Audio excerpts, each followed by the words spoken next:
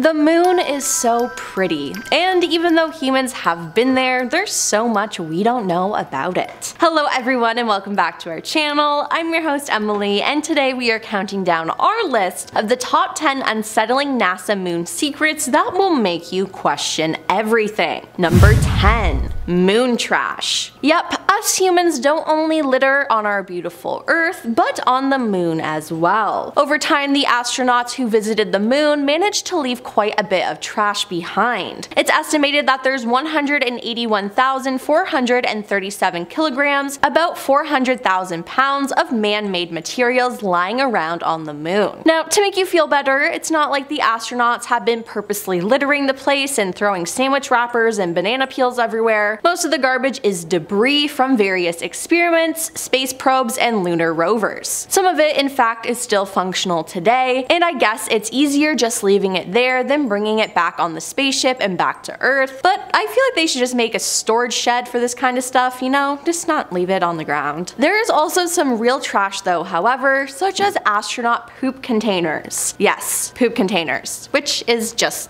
gross. Number 9. The moon is a burial ground. For those of you who didn't know, including myself until today, there is a dead body on the moon. Well, Sort of. Eugene Gene Shoemaker, a famous astronomer and geologist, was something of a legend in his field. He invented the scientific research of cosmic impacts and came up with methods and techniques that Apollo astronauts used to reach the moon. Gene wanted to be an astronaut himself, but was turned down because of a minor medical issue. Throughout his life, this remained his biggest disappointment, but every day he kept on dreaming that he would someday visit the moon. Then, when he died, NASA fulfilled his most precious wish and on on July 31st, 1999, some of his ashes were carried to the moon by the Lunar Prospector space probe in a capsule designed by Carol Porco. Gene is the only person whose remains have been placed on any celestial body outside Earth. The brass foil wrapping of his memorial capsule is inscribed with images of Comet Hale-Bopp, the last comet that he and his wife observed together, the Barringer meteor crater, and a quotation from Shakespeare's Romeo and Juliet, reading, And when he shall die, take him and cut him out in little stars, and he will make the face of heaven so fine that all the world will be in love with night and pay no worship to the garish sun. His ashes remain there today, scattered amongst moon dust. And I'm not gonna lie, this is really cool. Number 8. Moon Shadows When Neil Armstrong and Buzz Aldrin first walked the moon, they made a jarring discovery. The shadows of the moon were far darker than those on Earth due to the lack of atmosphere. Everything the sun didn't shine directly on was pitch black. Once their foot stepped in a shadow, they could not see it anymore despite the fact that the sun was blazing in the sky. Now, that sounds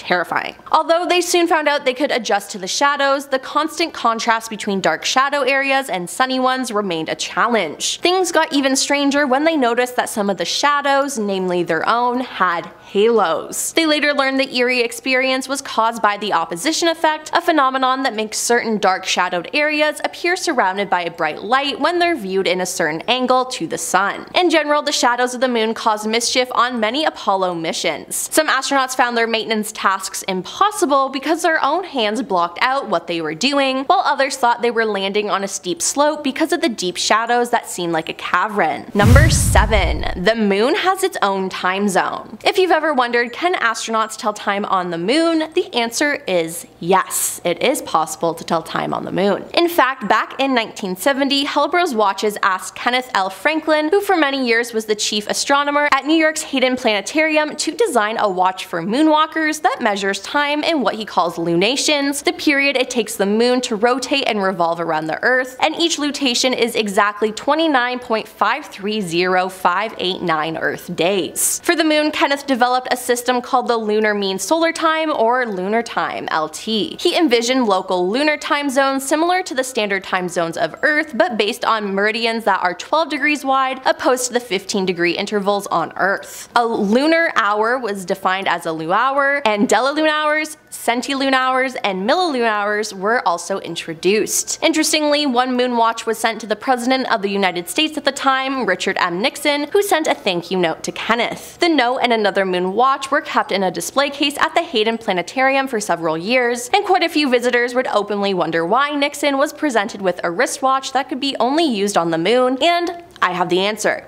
It's because it's cool. I mean, you're telling me if you could have a moon watch, you would say no? Number 6. The moon has varying temperatures. If you look on the internet for the temperature data on the moon, you're going to run into quite a bit of confusion. There's little consistency even within a given website in which temperature scale is quoted, Celsius, Fahrenheit, and even Kelvin. The temperature at the lunar equator ranges from an extremely low minus 280 degrees Fahrenheit, aka minus 173 degrees Celsius at night, and a very high 260 degrees Fahrenheit, aka 127 degrees Celsius in the daytime. In some deep craters near the moon's poles, the temperatures are always near minus 400 degrees Fahrenheit, minus 240 degrees Celsius. During a lunar eclipse, as the moon moves into the Earth's shadow, the surface temperature can plunge about 500 degrees Fahrenheit and 300 degrees Celsius in less than 90 minutes. Number 5. Moon dust. Yes, the moon is dusty. Moon dust sounds cool, but it's actually one of the moon's most surprising dangers. As everyone knows, sand gets everywhere on Earth, but on the moon it's downright hazardous. Lunar dust is as fine as flour, yet extremely rough. Thanks to this texture and the moon's low gravity, it clings to absolutely everywhere. NASA has experienced numerous problems caused by moon dust. It has eroded astronauts' boots almost completely through and sandpapered their visors. It has traveled inside ships with spacesuits and caused moon hay fever in the poor astronauts that have inhaled it. It's thought that prolonged exposure to the stuff could even cause airlocks to fail and spacesuits to break down. And in case you're wondering, yes, of course, this devilish substance smells like spent gunpowder. Number 4. The moon's origin. Where did the moon come from? The short answer is that we don't really know. However, science has been able to come with a few educated guesses. There are five main theories about the origin of the moon. The fission theory argues the moon used to be a part of our planet that was separated at some very early point in Earth's history. This would make the moon part of what is currently the Pacific Ocean basin. The capture theory says that the moon was just wandering the universe until our gravitational field caught it. Other theories say our satellite was either condensed from a bunch of asteroids or the remains of Earth's collision with an unknown Mars-sized planet. Currently, the most likely candidate for the moon's origin story is the ejected ring theory, which is better known as giant impact theory. According to this version, a protoplanet, a planet that is forming called Theia, collided with Earth, and the ensuing cloud of debris eventually condensed into the moon. Number 3. Lunar anomalies. Some of the pictures taken by various vessels that have visited the moon have shown some very strange things on its surface. Many of these images seem to show artificial constructs that range from tiny canister-like shapes to the shard, which appears to be a towering structure that could be at least 1.6 kilometers, aka 1 mile tall. According to paranormal enthusiasts, there's even a large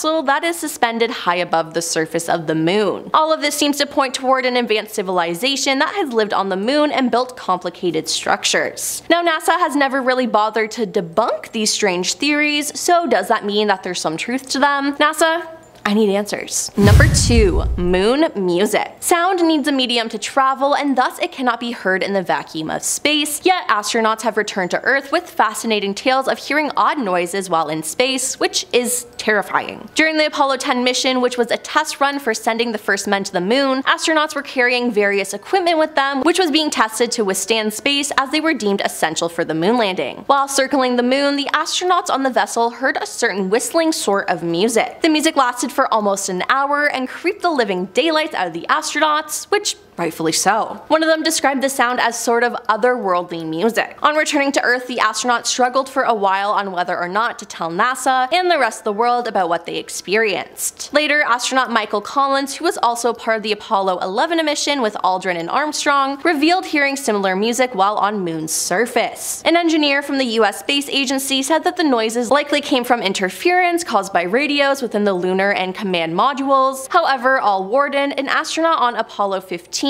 disputed the explanation. And coming in at number 1 is the lost recording. When astronaut Neil Armstrong took a walk on the moon and became the first man to do so in 1969, many conspiracy theories came to light. For one, people claimed he didn't actually go to the moon and that the footage was recorded in a studio. Of the many conspiracy theories surrounding this moment, there's one that remains a mystery to date. During the Apollo 11 mission, after Neil landed on the moon, NASA claims to have lost transmission for roughly two minutes. And in a reportedly secret message to NASA, Neil said, These babies were huge, sir, enormous. Oh my god, you wouldn't believe it. I'm telling you, there are other spacecrafts out here lined up on the far side of the crater's edge. They're on the moon watching us. Now, that sounds absolutely terrifying, and whether this is true or not, the fact that NASA lost transmission with Neil for two minutes is scary within itself. Being out in space, on a different planet, disconnected from everyone, and being completely alone sounds so scary. Well, that's all for our list of the top 10 unsettling NASA moon secrets that will make you question everything. Did anything on our list shock you? I didn't know that the moon had its own time zone, but I feel like that makes a lot of sense. Let us know your thoughts in the comments below, and make sure to like and subscribe while you're down there. I'm your host Emily, and I'll see you next time.